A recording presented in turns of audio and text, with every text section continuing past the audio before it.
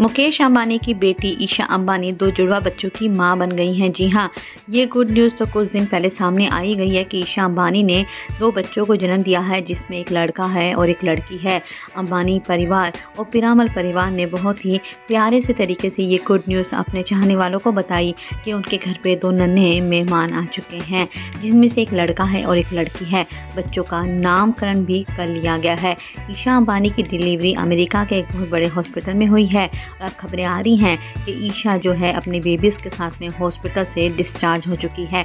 Discharge के समय कुछ पिक्चर्स उनके सामने आई हैं जिसमें ईशा ने अपनी गोदी में बेबी बॉय को उठा रखा है और उनके हस्बैंड आनंद ने अपनी गोदी में बेबी गर्ल को उठा रखा है। बताया जा रहा है, ईशा के वेलकम के लिए घर पर बहुत ही शानदार तरीके से तैयारी की गई हैं। आप कुछ पिक्चर्स देख रहे हैं स्क्रीन पर किस तरीके से घर को सजाया गया है।